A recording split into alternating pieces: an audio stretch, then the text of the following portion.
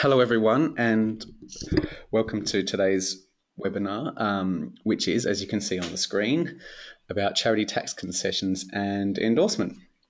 My name is Matt Crichton, and I'm from the ACNC's Guidance and Education team.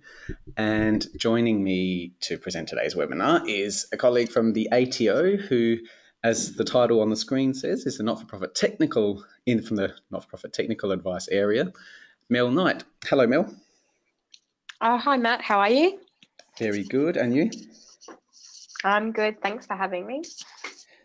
Always a pleasure to have you on to talk about this important topic. And we've got a lot of people joining us today, as usual, for the tax concessions webinar.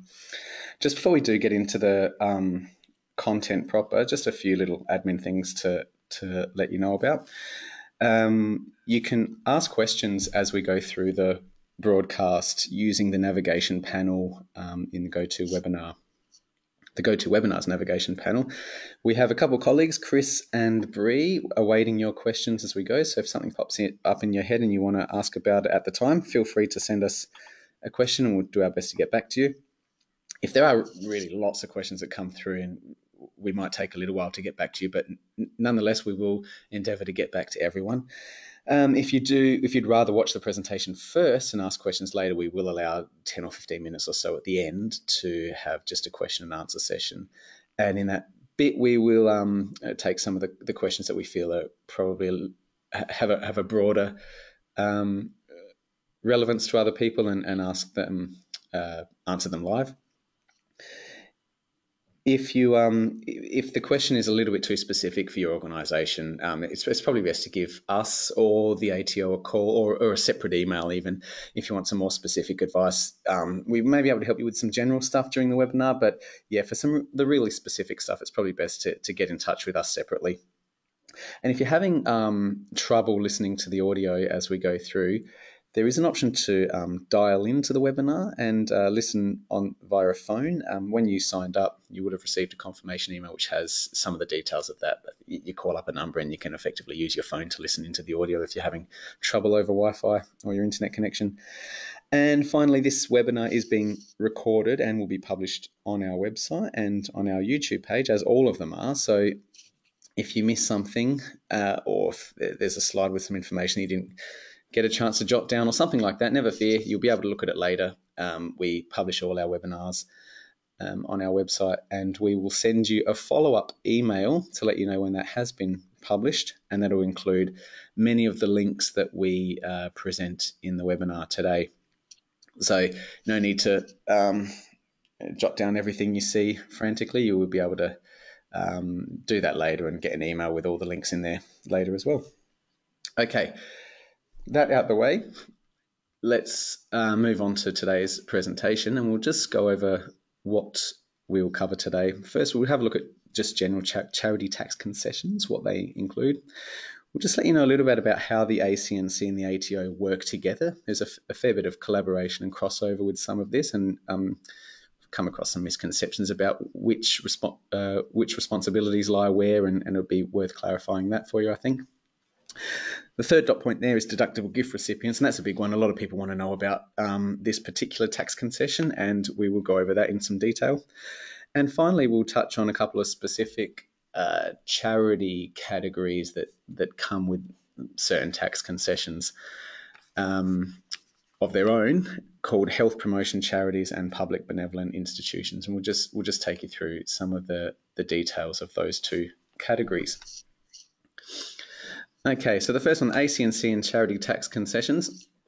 First, it's worth pointing out that the ACNC is the national charity regulator, and the ACNC's job is to register organisations as charities. That that has a, um, a knock-on effect to eligibility for tax concessions, but the ACNC's role isn't to endorse tax concessions. Where the connection is is, as the second dot point here shows, that charities must be registered with the ACNC to access Commonwealth charity tax concessions from the ATO. So while the ACNC will decide on an organisation's eligibility to be registered as a charity, it is still the um, the realm of the ATO to then uh, endorse whatever tax concessions it may be eligible for. And of course, some tax concessions are only available for particular types of charities. We will get onto this in a little bit more detail later, but it is important to bear in mind that just because your organisation is registered as a charity doesn't mean it automatically comes with every tax concession you've ever heard of. There, there are certain categories and certain types of tax concessions that are only allowed for certain types of charities. But as I said, we'll get into a bit of this um, in a little bit. So now I will pass over. I'll stop talking. I've been talking a lot, and you're probably sick of my voice. I'll pass over to Mel to take us over some of the role of the Australian Tax Office in um, in this whole collaboration with the AT, with the ACNC and, and charity registration. Over to you, Mel. What does the ATO do in this partnership? So our role, as, as it's stated there, is to administer um, the tax systems in Australia and also to administer the tax concessions that are available to um, all not-for-profits um, and in particular charities that we're talking about today. Um, so after the ACNC has decided on charity status, then um, your application usually comes over to the ATO and we will then make a decision about whether or not an organisation is eligible for tax concessions. And with some of those tax concessions as well, there are some special conditions that need to be met um, before we can actually endorse you. And we'll talk about them, I think, in a little bit more detail when we get to the tax concessions. I just want to make a point too, like while we're at this stage, that um, if you are a charity or your organisation has a charitable purpose, um, you're not able to self-assess your income tax exemption or any of the other concessions. So there is a, a requirement under the law that you are registered with the ACNC and then endorsed by the ATO for the tax concessions.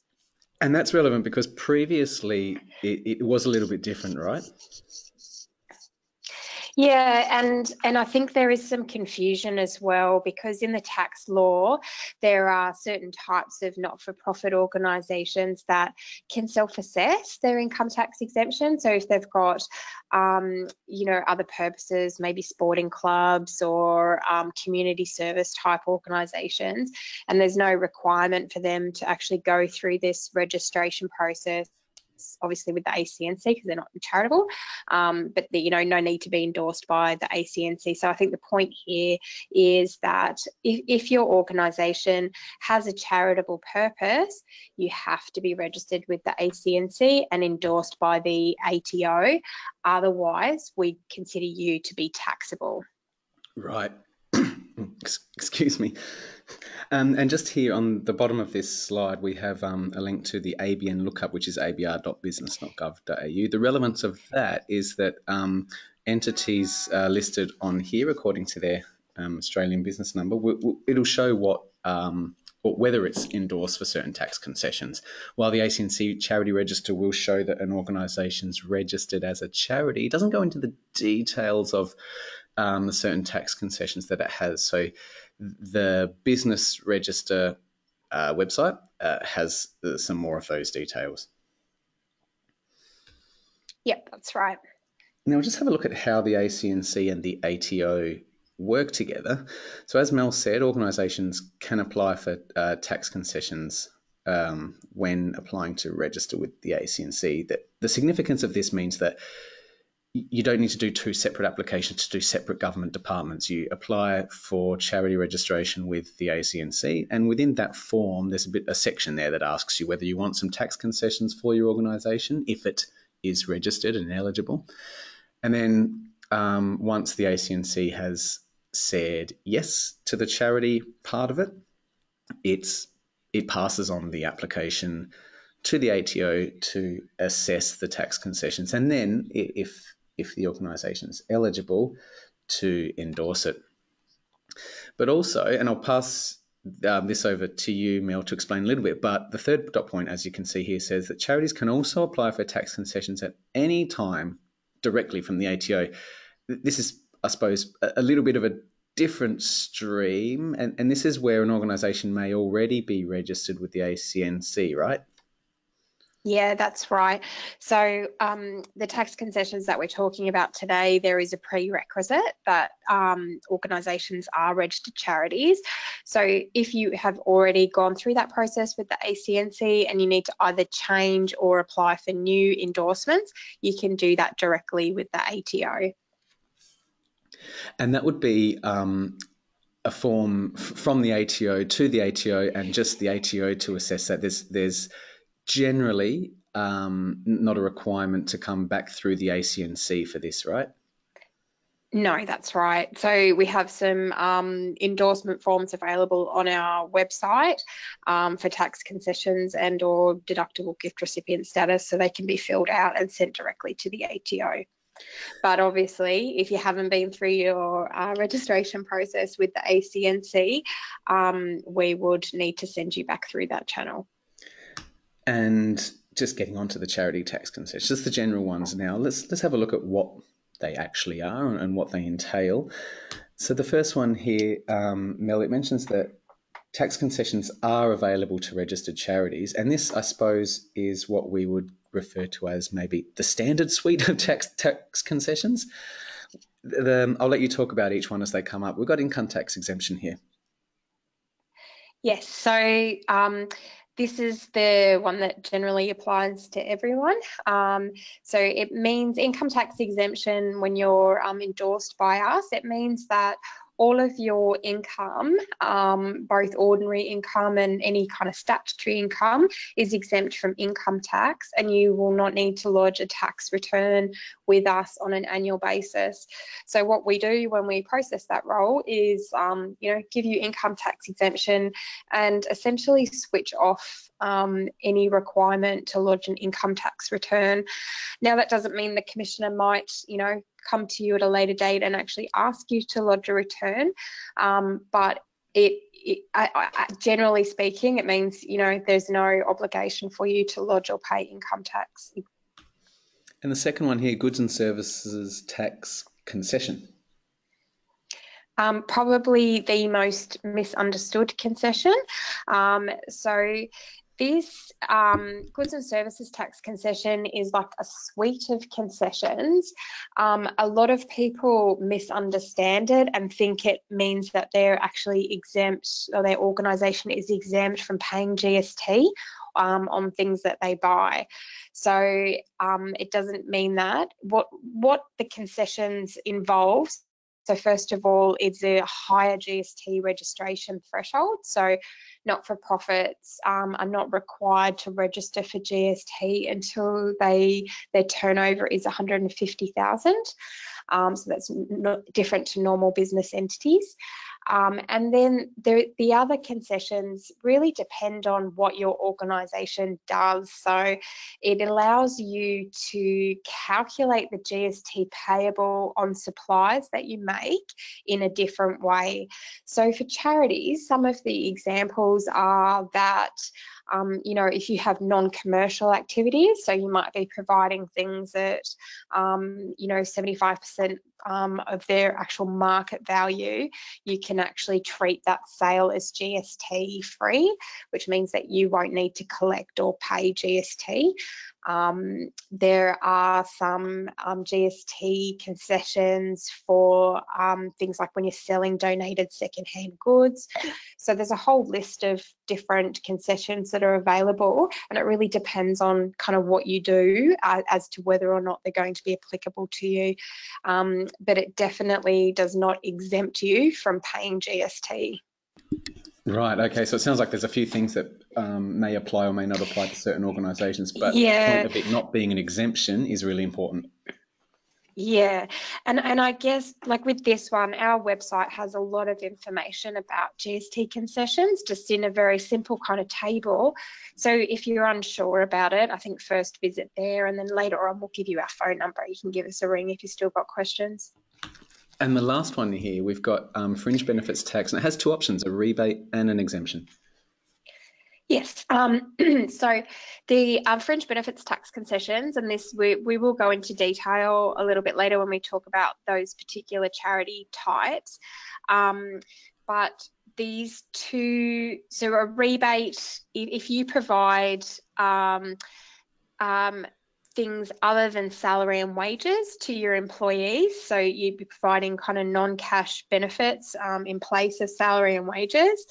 Um, you may be entitled to a rebate um, of the, the FBT payable on those non-cash benefits. Um, and the exemption just allows you to provide um, exempt benefits to an employee up to a capped amount. So I kind of think if the rebate is like a discount on the tax that your organisation would have to pay, um, and the exemption um, allows you to just provide exempt benefits and you won't pay any FBT as long as you stay under the capped amount for each employee. Right, and I did say that there was the last one, but there's actually a fourth. and this one says refund of yeah. credits.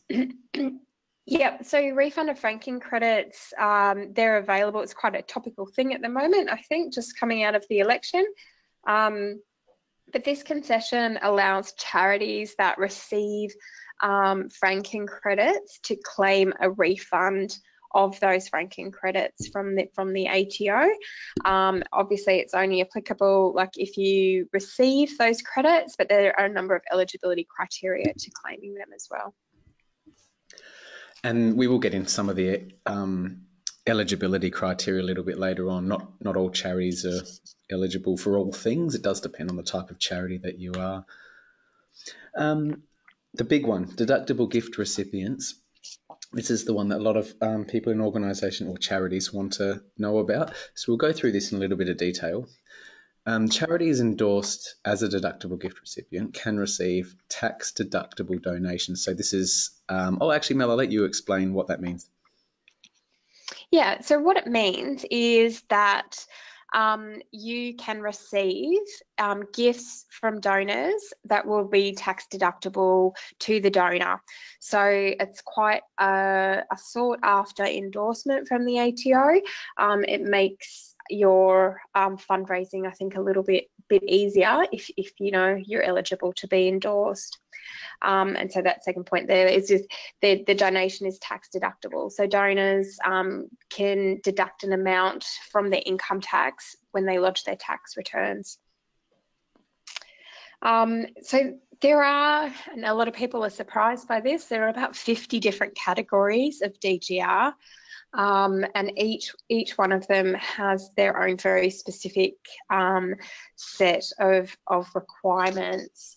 Um, Matt, do you want me to give a couple of examples? Do you think? Or? Yeah, sure. I think um, it's it's worth pointing them out, and a couple of examples will help. I think because there is that misconception yeah. that once an organisation is registered as a charity, it's therefore automatically eligible for these tax deductible donations, and people think that they can then offer um, that that tax deduction on donations as soon as they're registered as a charity. But but it's definitely not the case, is it? Yeah, and it, it is a common misconception. Um, so there are some very definite kind of charitable subtypes with the ACNC, and you know we are going to talk about the PBIs and HPCs um, later on, but there they are a definite kind of category that you can be registered with the ACNC with that, that will then enable you to be endorsed as a DGR under those categories. And then we have um, categories like school building funds, public libraries, public museums. Um, another um, large category that, that we look after are animal welfare charities. And I think they're worth talking about because you can be registered with the ACNC under a charitable subtype, um, you know, that indicates that you're looking after animals and caring for them. Um, but it might not necessarily mean that you're eligible for DGR endorsement. So our eligibility requirements for that category um, depend on you meeting some specific activity tests um, that, that you know you need to be looking after animals that are lost or mistreated without owners. So it's kind of like a direct activity test that we, we lay over the DGR endorsement. So they're just a few of the categories. Um, all of the categories are listed on our website, and, and some of them are really specific, like war memorial repair funds, um, then some of the categories are more general. And just this third dot point here, well, actually, it's worth mentioning the second one we had there that only 38% of registered charities are endorsed as DGRs, which may be a surprising stat for a lot of people because, as we mentioned, that misconception that all registered charities um, are allowed to offer tax deductible donations, and it's it's not the case, and, and actually a minority uh, are eligible to do that. The third dot point here about DGR endorsement is decided by the ATO just follows on from what you just said, Mel, about um, having different requirements, uh, particularly the animal welfare charity example being a good one, different requirements to the ACNC. So it's worth reiterating that the ACNC will decide on an organisation's eligibility to be registered as a charity. So, if we take the animal welfare example, an organisation may have all the right things in place to get that endorsement as or get that registration as a charity um, for that purpose. But that doesn't necessarily mean that it also ticks off all the boxes that the ATO requires for endorsement uh, for a particular tax concession. And that's a way to, I suppose, highlight the line between the two agencies' um, collaboration in this area is that the ACNC will do the first step of deciding whether or not your organisation is eligible as a charity according to charity law. And then it's passed to the ATO to figure out whether it's eligible for a tax endorsement based on different rules. And many of these rules will cross over, or, or, many of the requirements will cross over about certain activities and whatnot, but they are distinct and separate. Okay, let's have a look at government DGR registers now. It's um, a particular type of organisation and that comes with a particular DGR endorsement, and there are four of them. And I'll let um, Mel, I'll let you talk about each one. We'll do one by one.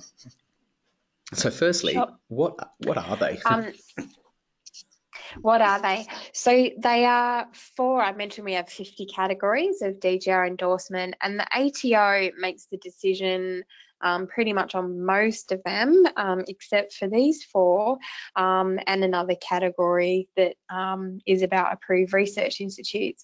But these four are looked after by separate government departments, and they actually make the decision about whether or not your organisation is eligible to be entered onto their register. And then obviously it come to the ATO after that after that for us to then finalise the endorsement for you. So the four categories are Register of Environmental Organisations, the Register of Cultural Organisations, Register of Harm Prevention Charities, and the Overseas Aid Gift Deduction Scheme. So they're looked after by the Department of the Environment, um, the Department of Communications and the Arts, um, Department of Social Services, and then lastly, um, that one is looked after by DFAT, the Department of Foreign Affairs and Trade. Now, these um, register endorsements, because they're being made um, by the different government departments, they all require like a ministerial sign off. So um, the minister responsible for those um, departments needs to sign off on on you know the application, and then the application has to go through to Treasury, um, usually for the assistant treasurer to sign off as well. So they require like a two ministers sign off, and then it comes to the ATO for us to um, just do the last bit. So there can be um, lengthy um, applications, and um, you know I'm I'm not quite sure of what the current timeframes are, but um, it you know, it, because it is requiring a ministerial sign off, it, it can take um, quite a while for this to go through. So, the way this would work in practice, for example, if an organisation is um, set up, uh, say it's an environmental organisation and it wants a DGR, the they would come to the ATO. Well, first, the DGR would have some conditions, right? And the conditions may say that one, of course, you need to be registered as a charity, and the second one may say that you need to be registered with the Register of Environmental Organisations. Mm-hmm. And then that's right. Once you've gotten those two, so you've got the charity thing from the ACNC, you've gone to the Register of Environmental Organisations from that department, then it's to the ATO to finally endorse the DGR. Yes, that's right. And luckily for us, when it when it finally gets to us, it's it, we're not really making a decision because it's already been made in that process, and all we're doing is just giving effect to your endorsement, really updating the system so your um, DGR endorsement displays on that public public um, ABN lookup. So once it gets to us, it only takes a day or so. Okay. but um, it's just that that process. I think in between that that can can be lengthy for um, for applicants. And that depends on the organisation itself too. It might be quicker for some and, and longer for others. Yeah, yeah. Just one last point on this slide. We've got down here at the bottom, it says pending changes mean these registered will be integrated with the ACNC charity register. Can you just give us a, a bit of an explanation of this, Mel? Yes. So um, back in, um, I think it was back in December 2017, um, the government actually made an announcement for um, a, a, suite of DGR reforms, and reforms to the to the government registers were, were one of those things. Um, so there it, it, was supposed to, to start on 1 July 2019, so this year, but we we had an announcement at the end of last year that it's actually going to be pushed um, back now to 1 July 2020. So what will happen is that or the intention of these reforms is that these government registers um, will no longer be the responsibility of the individual government departments and um, those people that have already been endorsed or on that register will come over and just be part of the ACNC's register. It, will also mean that all new DGR applications will be assessed by the ATO, so they won't go through that lengthy um, ministerial sign off process. But um, as yet, there's still um, unenacted reforms, um, and at the moment, like the start date for those is set to be on July 2020. Okay, let's get on to those two specific categories that we mentioned earlier the health promotion charities and the public benevolent institutions. Mel did mention briefly that um, certain types of charities come uh, or certain types of DGR categories require an organisation to be registered as a particular type of charity. And two of the most common ones are the health promotion charities and public benevolent institutions. Um, Mel, what are the requirements, broadly speaking, for the DGR for these two? Yep. So um, the the main requirement is that you are registered with the ACNC under those subtypes, the um, health promotion charity or public benevolent institution.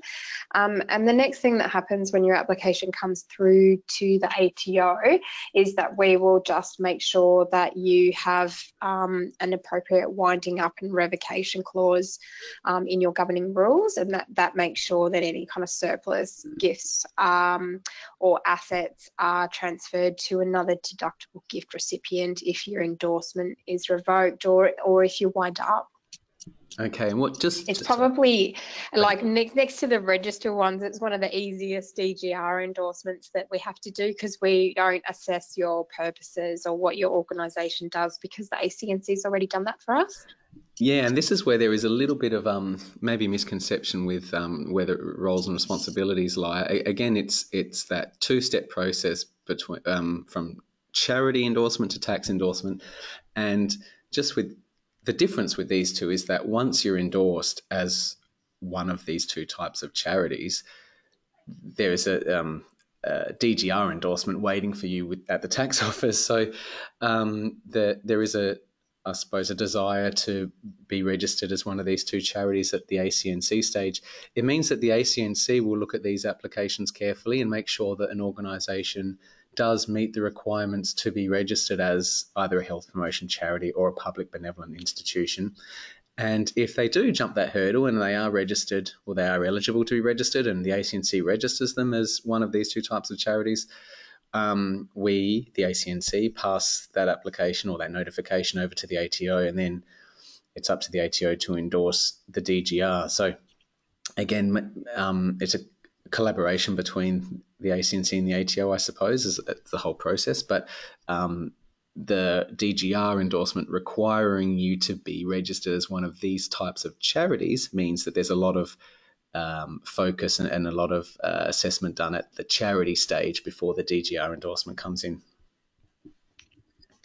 It, it might also be worth mentioning here as well that um, if you are registered with the ACNC under those two um, subtypes, you're also eligible for the FBT exemption. So when we were talking about those FBT concessions before, that exemption um, is only available to those um, two charitable subtypes as well as um, hospital employees as well. So that, that enables PBIs and HPCs to provide up to $30,000 like gross up of um, exempt fringe benefits to each employee.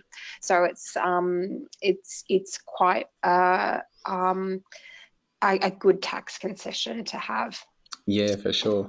And it might be worth just mentioning here, because we have the first dot point here that says registered charities can apply to change their subtype through the ACNC charity portal online. Um, the relevance of that is that, as Mel mentioned earlier, there are some cases where a charity may already be registered with the ACNC, but they would like to have different or, or more extensive tax concessions, so they want to apply for those directly through the ATO. And of course, that's the process that you would take. However, if the tax concession that you're applying for through the ATO requires you to be a particular type of charity, then in that case, there, there may be a requirement that you have to come back to the ACNC and have your charity registration uh, changed, which which will involve a reassessment before the ATO will um, allow you to to um, or will endorse any tax concessions, and that's because the condition on the tax concessions that you're applying for has particular requirements of the type of charity that um, your organisation is. Okay, that's the presentation proper. And I know there have been lots of uh, questions that have come through um, throughout the broadcast, and um, our colleagues Chris and Brie have been typing away madly trying to answer all your questions. We thought we've had a few come through that we thought would be um, worth answering um, during the main broadcast because there might be some. Uh, it might be relevant for a lot of people. So we might go through some of them now. And Mel, this is going to place you in the hot seat because um, predictably all the questions are about partic- uh, particular tax concessions. So if you don't mind jumping in the hot seat, I, will I love throw, it. great. I will throw you a couple of um, questions. Um, okay, we've. Uh, We've had one on um, GST. Actually, it mentions GST exempt, so it might be worth reiterating the rules on this. But um, the question is that they're a new charity and they've been given GST exemption. I think this this may be referring to a concession. Um, do we pay GST and reclaim it, or tell suppliers not to charge us? Um, do you want to have a go at answering this? So it seems as though that there yeah. may be a little bit of confusion about the GST concession. Yeah, I I think that um, as we were talking about before, there is confusion about the concession and that the concession is not an exemption from paying GST. So um, you can't get a supplier not to charge you GST. Um, it, it just, it, you know, it doesn't work like that. Um, so if if you have paid GST on things that you have purchased, what you might want to do as an organisation is have a look and see whether it is beneficial for you to register for GST. Um, Uh, you know, and you, you do that by determining like what your threshold is and, you know, what kind of sales you actually make and whether or not you'd need to collect GST as well. But sometimes that enables you to claim back the GST that you've paid on supplies um, those GST concessions that like we were, were talking about before really relate to the things that your organisation does and whether or not there's some concessional treatment that can be applied to um, the way that you charge for goods that you know that you supply. We have a lot of information on our website about GST concessions, and it's really clearly laid out there.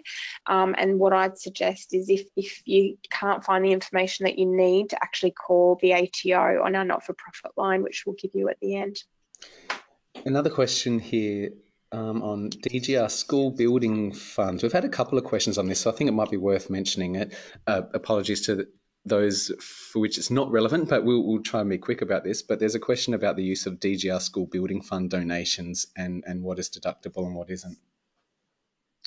Yeah, so um, again, like we've got a lot of information on the ATO website about school building funds, and we've also got a really good ruling that goes over in detail and provides a lot of examples about what a school building fund can use their money for. Um, in a nutshell, there has to be a school um, in the ordinary sense of the word. So, um, and and that fund can only use um, be used for the building, construction, and maintenance of a school building. Um, so you can't use it to pay teachers' wages or um, for you know general school supplies. It has to be used for the building and for its maintenance. Um, I might just put a plug in, Matt, because about three weeks Go ago ahead, we sure. did, or four weeks ago we did, we did a, um, a school building fund webinar, um, and the recording for that's actually up on the ATO TV um, site, and it's really good. It, we go into a lot of detail about school building funds, exactly what you can use them for, um, and just some tips for organisation to ensure that you've got good governance as well. Sounds good. Where can they find that? So just ATO TV is a, a good search they can do? Yeah, even if you go onto the ato.gov.au website and just put ATO TV in the search engine, it'll come up. And when you get onto ATO TV, you can then choose to go into the not for profit related. Um, web, um, there's webinar recordings and some videos and things like that. So you'll find the school building one there, and it's the most recent one that we've done. Okay. Um, there's a question here about parent organisation having DGR, and then the the I suppose the sub organisation or the child organisation also applying separately for it. Um, the question is, can it be done? And and I suppose the follow up to that would be, is that common or, or should it be done? Um, look, I, I would say it actually depends. So if if the sub organization is a separate entity um, in its own right, so you've got to because one of the requirements is you know you need an ABN, and then that entity is actually um, doing the things it needs to do to have DGR endorsement, then it's possible. Um, you might want to just investigate your structure and look if you're not sure just to give us a call um, on our not-for-profit line and we can talk you through your eligibility good good advice that's generally the best way for for real specific things i think um we can give you some broad yeah. suggestions here but if, if you're really getting to the nitty and gritty of your organization's um, finances and whatnot and structure you best give um, the ato a call or us uh, depending on if it affects your charity status um, a question here for FBT concessions for religious ministers. And uh, the reason I bring it up, we've had a few questions about it, so I think it must be relevant for some people. But again, apologies if it's not relevant for, for, for a number of you, but we'll be quick about it again. The question asks about how to move from FBT rebatable to exemption. Okay, so most churches are um, eligible for FBT rebate, and that's for all of their employees. Um, but there are some very specific um, FBT concessions available for um, religious practitioners um, that are provided to them in um, in the course of their, you know, religious duties. Um, and so basically, those benefits are exempt. Um, now, it's probably good timing that whoever asked this question did, because the ATO um, is soon to release a final version of an updated ruling on for religious practitioners and the provision of exempt fringe benefits. So, if anyone's interested in that, I'd probably suggest subscribing to our not-for-profit news service because there'll be a notification come out when that ruling is released and it goes over um, when you can provide exempt benefits to religious practitioners. We've got one question here. We'll, we'll, go through a couple more. I think we've got a few minutes to, to spare. There's one question here that touches on DGR reform, I think, but it it it seems to um, display maybe a common misconception about um, endorsement and, and, assessment of applications. Where the question asks whether um, the propo- uh, if the proposal that the ACNC be empowered to determine DGR applications instead of the ATO is is going ahead, and, and if so, what's the timetable? Um, as you mentioned, Mel, there is there are proposals to, to sort of reform the way certain DGRs are or certain eligibility is assessed, but that's not quite the same as removing it from the ATO, right?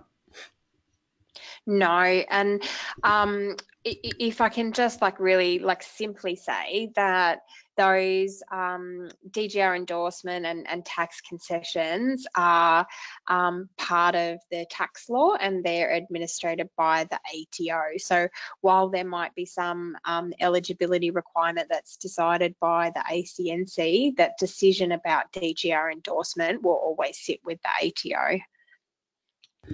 And the reform itself is um, I think this is what the question is referring to, but the reform itself is the thing that was supposed to at one stage go ahead this year, but has been put back yeah. a year, and that's where the four different um, DGR registers uh, will yeah. be integrated within the charity register. Yeah, and there's a, um, the other big part of that reform um, was that all non-government DGRs would be required to be registered as charities. Um, so I, I, think sometimes that's where that that confusion um, comes in as well. So so the reform is really just making it um, um fair for everybody and um, putting that requirement in there that that all DGRs need to be registered charities. Two more, I think, and then we'll finish up. I'm sure everyone's hungry. We've gone over lunchtime.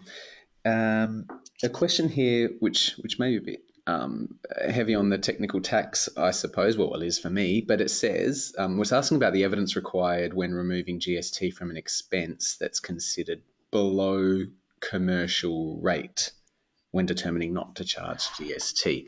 Um, can you maybe can you simplify that for people, Mel, and and provide yeah. a, a commentary on it? I think this person might be talking about non-commercial activities of a charity. Um, so basically, if if you are um, providing something that is like less than seventy five percent of it of the normal market value. Um, then you can treat that as GST free. So, like some examples are, you know, providing accommodation at less than market value. So, I think that's what they're talking about. Um, if you need help in determining, um, you know, when that might be applicable, um, that's a really tax specific question. So I probably suggest giving um, the ATO a call just to talk about your particular circumstance. And just one more. A question about tax deductibility for charity fund, uh, fundraising in Australia when all the funds are spent on environmental activities overseas. I think there may be some confusion about um, tax deductibility if funds are either um, if funds are raised here and used overseas. Is there a distinction that the ATO makes for for those situations? Um, look, the distinction usually comes at the point when we're endorsing someone. So, um, charities need to meet an in Australia requirement, and for most categories, that requirement is that um, the charity is established and operated in Australia, um, but its its purposes and beneficiaries can be outside of Australia. So it is possible to um, you know raise tax deductible funds and then use them for your purpose like for the purpose you've been endorsed outside of australia um, there's only a couple of categories that um, there is an, a very specific restriction that the the recipients need to be in Australia. Um, example of those are, you know, Australian disaster relief funds and also necessitous circumstance funds. Um, so the DGR category itself actually, you know, specifies where your recipients need to be. Um, but but it is possible if, um, you know, the organisation's DGR endorsed, like maybe an environmental organisation, and it is it, it can provide funds to um, do things outside of Australia as long as it's within its purpose. I hope that clears that one up for the people that asked it. But again, um, if if you're not sure about the particulars of your situation, feel free to give us a call. Us, when I say us, it's the ACNC. And um, for more tax specific matters, give the ATO a call. And the ATO, we'll, we'll um, show you the phone numbers in a minute, but um, the ATO has a specific phone line dedicated to not for profit tax. So it's worth jotting that one down. Okay, here are some resources that you may find um, useful for this topic today. As I said at the beginning, we will uh, include all of these links in a follow up email. So, um, no need to frantically jot all these down now. Um, it's just a, a, few of the higher level ones that, that you may want to have a look at. Um, particular fact sheets on tax concessions and, and registering as particular types of charities to be endorsed as certain tax concessions. And Mel, some ATO resources that people might find useful. Yeah, uh, we've got a few there. Um, so we've got our um, not-for-profit homepage on ato.gov.au. So um, if you go onto the main ATO website, um, you, will see that there's a not-for-profit tab um, that opens up into a whole lot of very useful information, right from getting started to the different types of tax concessions that are available. Also, some help if you've got any obligations or you've got employees or anything like that. It's very good. Um, we did talk about ATO TV. Um, so the address for that is tv.ato.gov.au and keep an eye out for the not-for-profit tab to take you to our specific um, recordings that we've got there. Um, we have our not-for-profit information line. So the number there's 1300 130248. Um, our, it's a small team, um, but they're also the team that do all the endorsements as well. So um, they're, they're knowledgeable on all that type of stuff. Um, Matt was asking me before, like how long the wait time is. So usually um, your call will be answered, you know, within 30 seconds to a minute. So you're not going to need to wait too long. We answer calls um, that have to do with general not-for-profit inquiries, tax-related things, and, and it's advice only. So if you do need to have any kind of updates to your accounts, maybe contact information or to talk about lodging um, an activity statement or something like that, you can choose that option um, when you ring that 1300 number as well.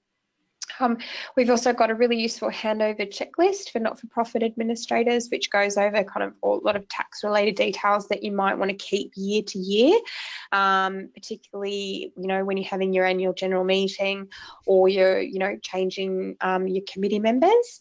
We've got a self-governance checklist for not-for-profit organisations. And then last of all, which I'd kind of, uh, you know, always need to give this a plug. We've got our not-for-profit news service, so um, we send out alerts and you know a regular newsletter when things change or if there's any kind of updates to tax law, if we've got new rulings coming out, or even you know when we're running a webinar, so that will kind of let you know um, what's going on in tax land. Excellent, and you can stay in touch with stuff regarding the ACNC. We've got commissioners columns and email updates that go out regularly, lots of web guidance, video content, and podcasts on the website. The webinars is at acnc.gov.au forward slash webinars. That has that hosts all our um, broadcasted webinars and, and they're listed there with the slides and, and whatever else may have been included in a particular webinar. And if you have any uh, particular queries about um, your organisation and its tax sorry, not tax, this is, it's charity registration, send us an email to advice at acnc.gov.au. And we're pretty active on social media. We generally get these um, recordings published uh, within a day um, of the broadcast. So we will send you out a follow up email with um, lots of these links and resources and whatnot. Look out for that in the next day or so.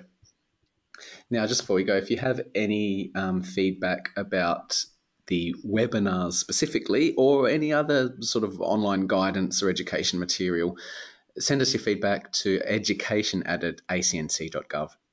We, we do enjoy receiving um, any comments there.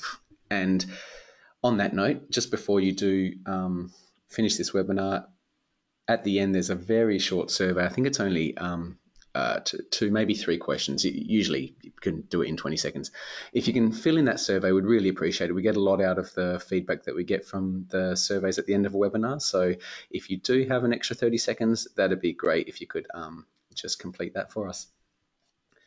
Okay, thank you for attending. We really appreciate your attendance today. We hope you got something out of it. Thanks, Mel, for helping us out and providing all the all the brains for this one.